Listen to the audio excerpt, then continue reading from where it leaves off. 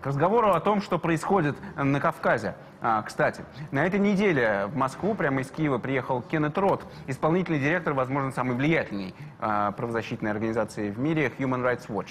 А, конечно, главная цель его визита в, и в Киев, и в Москву, это понятно, что события а, на Украине. Организация Рот уже подтвердила сообщения других правозащитников и журналистов, в том числе из Нью-Йорк Таймс о том, что украинские вооруженные силы использовали действительно запрещенные кассетные бомбы. А, но а, Петр Рузавин говорил с Кентом Ротом не только о том, что происходит а, на Украине, а еще и о том, что происходит на Кавказе, и как вообще а, Кенту Роту и Human Rights Watch работается теперь с российскими и украинскими чиновниками.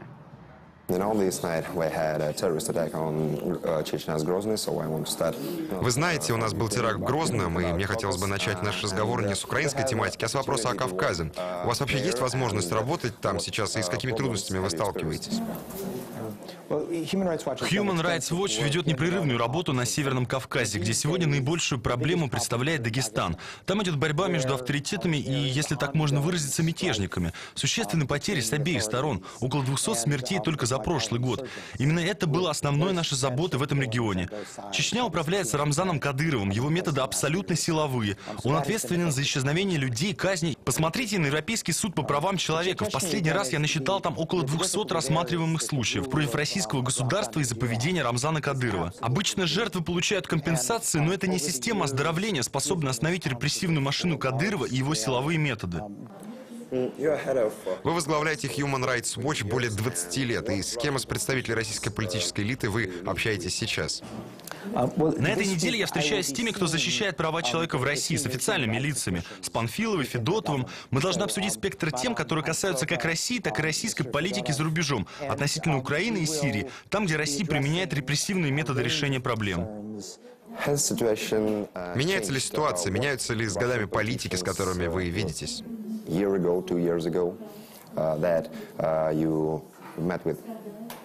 В России мы столкнулись с ситуацией интенсивного подавления, которое прежде всего уходит корнями в антипутинские демонстрации три года назад, тогда, когда Путин объявил свои намерения вернуться в Кремль. И последние три года мы видим намеренное образование крайне репрессивной архитектуры, которая, как домоклов меч, грозит тому, кто критикует кремлевский режим. Различные элементы этого подавления — это и закон о причислении НКО к иностранным агентам, и суровые ограничения для СМИ, включая ваш телеканал. В результате этого в России стало сложнее слышать независимую оценку событий. Сейчас интернет стал последним бастионом свободы, на который нацелен Кремль. Изменилась ли ситуация после присоединения Крыма? Кремль стремительно вошел в Крым и действительно делает ставку на Восточную Украину. Я думаю, что это идет от его на самом деле неуверенности в ситуации в самой России. Кремля это такая авантюра, которая может сплотить российский национализм. И у него получилось начать эту авантюру, потому что это работает в системе ограниченной информации. В таком информационном вакууме людям легче попасться в руки кремлевской пропаганды. Путину легче оправдывать присоединение Крыма и поддержку пророссийских сил на востоке Украины. Что касается Украины, вы сталкиваетесь с проблемами в работе с новыми властями? Властями. Я был в Киеве как раз на этой неделе и провел вполне конструктивные переговоры с рядом министерств. Киев встречает нас с распростертыми объятиями. Я проводил пресс-конференцию, которая вполне себе критиковала правительство, и при этом она широко освещалась прессой. И я надеюсь, то же самое произойдет здесь, в Москве. Когда мы обсуждали войну в Восточной Украине, Киев произносил правильные слова, что он противодействует использованию ракет «Град» в населенных пунктах. И это показывает, что там происходит нарушение Женевской конвенции. Но Киев проверяет, чтобы его войска это строго исполняли. То есть наше обсуждение затрагивали больше тему реализации общего видение прав человека, чем тему борьбы за права человека. Это сильно отличается от того, что здесь, в России, где мы боремся с правительством, которое на уровне политики все больше и больше посягает на основные человеческие свободы. Какие, по-вашему, происходят самые основные нарушения на востоке Украины?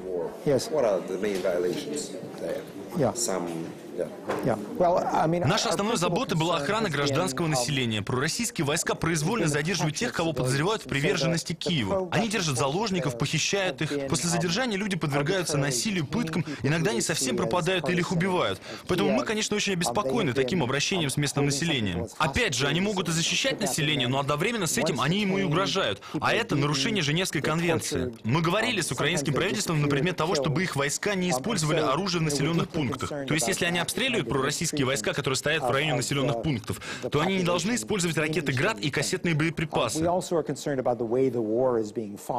About Как, по-вашему, how, Россия uh, работает в конфликтных зонах?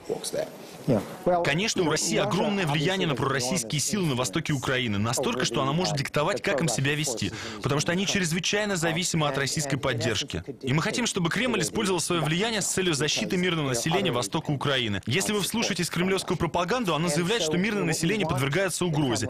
Но если вы смотритесь в реальные события, то поймете, что оно подвергается угрозе во многом из-за действий пророссийских сил. Поэтому мы хотим, чтобы Кремль использовал свое влияние во благо мирного населения, чтобы людей не похищали, не пытали, не казнили, чтобы боевые действия не происходили в населенных пунктах. Вы считаете, Кремль не проводит действий по улучшению этой ситуации? К сожалению, у Кремля своя долгая история нарушения Женевской конвенции, когда речь идет о вооруженных конфликтах. Это действия в Чечне, и поведение в конфликте на востоке Украины, и поддержка режима Асада, который вел вооруженные действия против мирного населения. Несмотря на то, что Россия ратифицировала Женевскую конвенцию и теоретически не поддерживает ведение войны, если вы посмотрите на то, как она себя вела на Северном Кавказе, в Сирии, и на то, как она себя ведет на востоке Украины, неважно, прямо или косвенно, Россия на самом деле нарушает основные идеи Женевской конвенции. Main violations. Какие наиболее серьезные признаки нарушения прав в Крыму? В Крыму, который был оккупирован, Россия обязана защитить местных жителей. Мы зафиксировали факт давления на тех, кто критикует оккупацию. В целом население согласно с российскими властями. Однако есть те, кто хочет, чтобы Крым оставался частью Украины. Я должен сказать, мы озабочены дискриминацией людей, которые не приняли российское гражданство. Um, It has been threatening and harassing people who are seen as critical. Ам, Вот ам, поражение в правах в Крыму, например, фиксирует Human Rights а, Watch.